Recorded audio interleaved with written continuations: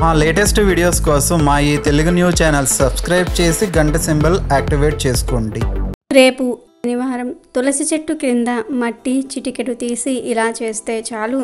ఎలాంటి కోరికలైనా తీరిపోతాయి. తరతరాలకు తరగని ఆస్తి వస్తుంది. మీకు ఉన్న ఇబ్బందులు కష్టాలన్నీ కూడా పోతాయి. బాధలు కన్నీళ్ళు పోతాయి. మీ జీవితంలో ఉండే సమస్యలన్నీ పోతాయి. ధన ఆదాయం పెరుగుతుంది. మీరే మీ ఆదాయం పెరగడాన్ని చూస్తారు. మన మన అందరి ఇళ్ళల్లో తులసి మొక్క ఉంటుంది. మన మన హైందవ సాంప్రదాయంలో తులసికి ఉన్న ప్రాధాన్యత మరే ఇతర మొక్కకు లేదు. తులసి చెట్టును లక్ష్మీదేవి స్వరూపంగా భావిస్తారు. అందుకే శ్రీ మహావిష్ణువుకు తులసిని సమర్పిస్తారు. ఇలా చేయటం వల్ల సంపద రెట్టింపు అవుతుందని చాలామంది నమ్ముతూ ఉంటారు. ఆయుర్వేద శాస్త్రం ప్రకారం తులసి మొక్కలో ఎన్నో ఔషధ గుణాలు ఉన్నాయి. దీన్ని ఇంటి ఆవరణలో ఉంచటం వల్ల ఇంట్లోకి ప్రతికూల శక్తులు రాకుండా అడ్డుకుంటుంది. అంతేకాదు సానుకూల శక్తిని ఆహ్వానిస్తుంది. అందుకే తులసి మొక్కను ఎంతో పవిత్రమైనదిగా పరిగణిస్తారు. వాస్తు శాస్త్రం ప్రకారం తూర్పు దిశలోనే తులసి మొక్కను ఉంచాలి. దీనివల్ల శుభప్రదమైన ఫలితాలు వస్తాయని చాలామంది నమ్ముతారు. ఒకవేళ మీ ఇంట్లో తూర్పు దిశలో తులసి మొక్క నాటేందుకు స్థానం లేకపోతే ఇంటి ఎదురుగా తులసిని నాటడం వల్ల ఇంట్లోకి సానుకూల శక్తి ప్రవహిస్తుంది. దీంతో పాటు లక్ష్మీదేవి అనుగ్రహం కూడా మీపై ఎల్లప్పుడూ ఉంటుంది. తులసి మొక్క ఉన్న ఇల్లు తీర్థస్థలం అని తులసి కోట ఉన్న ప్రదేశం గంగా తీర్థంతో సమానమైన పవిత్రతను కలిగి ఉంటుందని పెద్దలు చెప్తూ ఉన్నారు. రోజు నిద్రలేవగానే తులసి మొక్కను దర్శించటం ప్రదక్షిణలు చేయటం వల్ల సప్త ద్వీపాలతో కూడిన సమస్త భూమండలాన్ని అందులోని తీర్థాలను క్షేత్రాలను దర్శించినంత పుణ్యం లభిస్తుందని పండితులు చెప్తూ ఉన్నారు. తులసి మొక్కను నాటిన నీరు పోసిన తాకిన పెంచిన మోక్షం సిద్ధిస్తుందంటారు. అందుకే తులసిని దేవతా వృక్షంగా భావిస్తారు హిందువులు.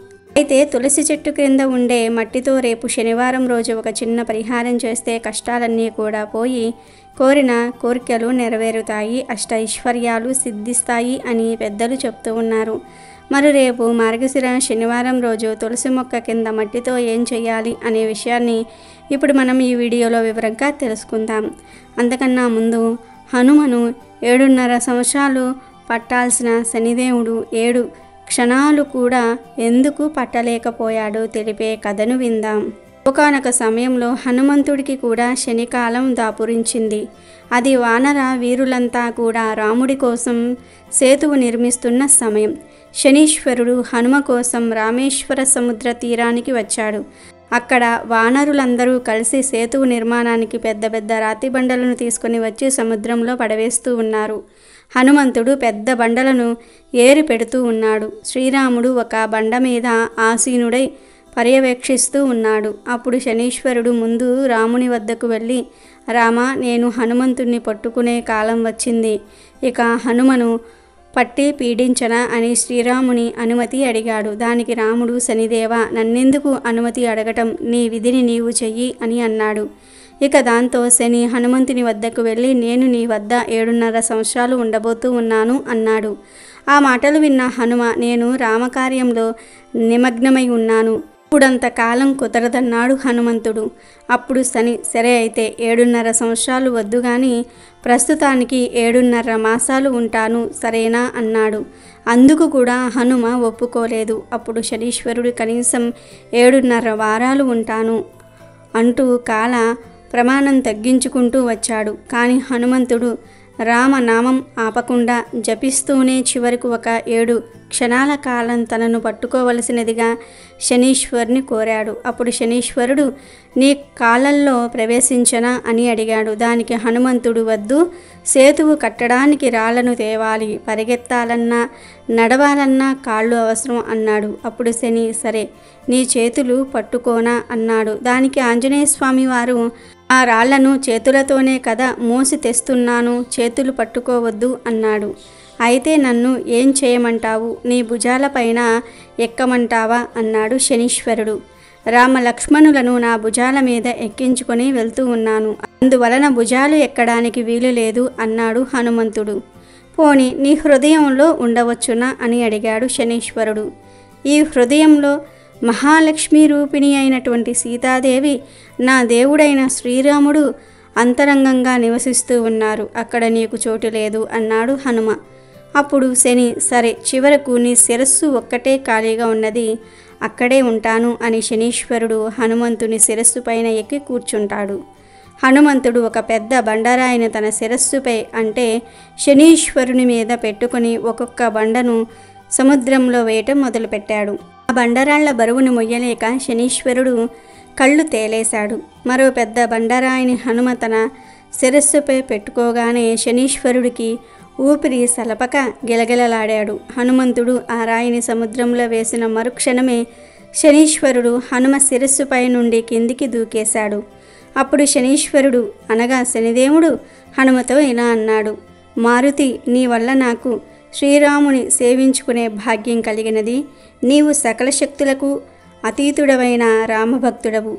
నీ ముందు నా శక్తి చాలదు. నిన్ను నేను పట్టలేను. నన్ను వదిలిపెట్టు మహానుభావ అంటూ చేతులెత్తేసి ఒకే పరుగు పెట్టాడు శనీశ్వరుడు. కనుక నిర్మల భక్తితో నిశ్చల మనస్సుతో శ్రీరాముని సేవలో నిమగ్నమై ఉన్న ఎవరినీ కూడా శనీశ్వరుడు రెండు క్షణాలు కూడా పట్టుకొనలేడు. పరిపూర్ణమైన నమ్మకంతో నిరంతరం శ్రీరామ నామం జపిస్తే కష్టాల నుండి విముక్తి కలిగి తీరుతుంది.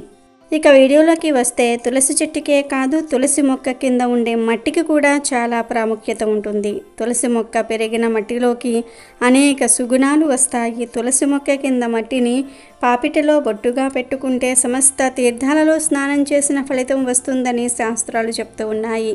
ఈ తులసి మొక్క కింద మట్టితో శనివారం రోజు ఒక పరిహారం చేస్తే కోరిన కోరికలు తీరు సకల సంపదలు సిద్ధిస్తాయని శాస్త్ర పండితులు కూడా చెప్తూ ఉన్నారు. అసలు ఏం చేయాలి అంటే ఏమీ లేదు.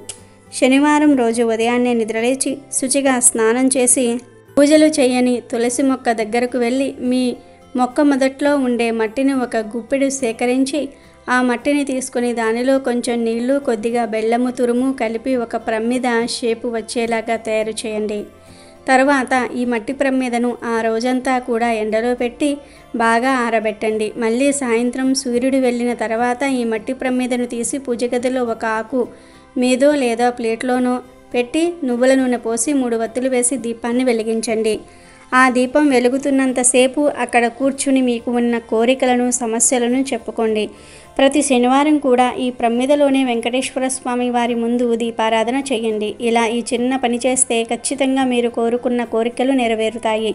మీకు ఉన్న కష్టాలన్నీ కూడా పోతాయి. లక్ష్మీదేవి వెంకటేశ్వర స్వామి వారి అనుగ్రహంతో తరతరాలకు తరగని ఐశ్వర్యం వస్తుంది. కాబట్టి మీరు కూడా రేపు శనివారం రోజు తులసి చెట్టు కింద మట్టితో ఈ చిన్న పనిని చేసి శుభ ఫలితాలను పొంది ఆనందంగా జీవించండి. శనివారం రోజు ఇంట్లో తులసి చెట్టు ఉంటే చెట్టు మొదట్లో దీనిని కట్టండి చాలు. ఒక్క రోజులోనే మీ జీవితం మారిపోతుందని మీ ప్రతి కోరిక నెరవేరు తీరుతుందని పండితులు చెప్తూ ఉన్నారు. ఈ రోజుల్లో అందరికీ కూడా ఆర్థిక సమస్యలు ఎక్కువైపోతూ ఉన్నాయి. ఆ సమస్యలు తీరాలంటే తప్పక ఈ పరిహారం చేయాలని పెద్దలు సూచిస్తూ ఉన్నారు. నవ సమాజంలో డబ్బుకు ఎంత ప్రాధాన్యత ఉన్నదో అందరికీ తెలుసు. డబ్బు లేని వాడిని ఎవ్వరూ కూడా పట్టించుకోరు. అందుకే డబ్బు కోసం అందరూ నానా రకాల పనులు చేస్తూ ఉంటారు.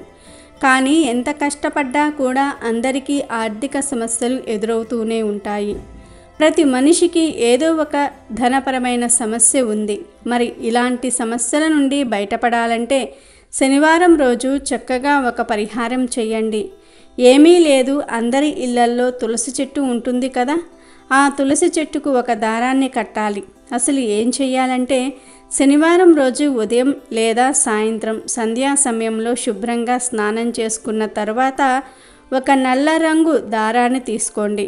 చిన్న ముక్క అయితే చాలు. ఈ దారాన్ని పూజ గదిలో లక్ష్మీనారాయణుల ఫోటో ముందు పెట్టి ఆవు నెయ్యితో దీపం వెలిగించండి. ఇప్పుడు నల్ల దారానికి మూడు చోట్ల పసుపు బొట్లు మూడు చోట్ల కుంకుమ బొట్లు పెట్టండి. ఆ తర్వాత ఓం లక్ష్మీ నారాయణాయ నమః అనే మంత్రాన్ని. నూట ఎనిమిది సార్లు జపించి మీ కోరికను కూడా నూట ఎనిమిది సార్లు చెప్పుకోండి. అంటే మీకు ఉన్న ధన సమస్యలు తొలగి ధన రాబడి పెరగాలని మీ జీవితం మారాలని మనస్ఫూర్తిగా మీ కోరికను చెప్పుకోండి. అలా మీ కోరికను చెప్పుకున్న తర్వాత పూజలో ఉంచిన నల్ల దారాన్ని తీసుకుని వెళ్ళి మీ ఇంటి దగ్గర ఉండే తులసమ్మ మొదట్లో కట్టేయండి అంతే. ఒక్కసారి ఈ పరిహారం చేస్తే చాలు మళ్ళీ మళ్ళీ చేయవలసిన అవసరం కూడా లేదు. మరి ఇలా కట్టిన నల్లతాడును ఎప్పుడు విప్పాలి అనే సందేహం చాలామందికి వస్తుంది. మీరు ఏ కోరికను కోరుకొని నల్లదారాన్ని తులసి మొక్కకు కట్టారో ఆ కోరిక ఎప్పుడు తీరుతుందో అప్పుడు ఈ దారాన్ని విప్పేసి ప్రవహించే నీటిలో పడవేయండి. ప్రవహించే నీటిలో మాత్రమే వేయండి ఇంకెక్కడా వేయకూడదు. ఇలా శనివారం రోజు ఈ పరిహారం చేశారంటే మీరు కోరిన కోరికలు నెరవేరుతాయి. మీ జీవితం అద్భుతంగా మారిపోతుంది. కాబట్టి ప్రతి ఒక్కరూ కూడా ఈ నల్లదారం పరిహారం పాటించి శుభ ఫలితాలను పొందండి. అమెజాన్లో బెస్ట్ డిస్కౌంట్స్ కోసం వీడియో డిస్క్రిప్షన్లో లింకు ఉంది చూడండి. అలాగే మా టెలిగ్రామ్ ఛానల్ సబ్స్క్రైబ్ చేసుకోండి.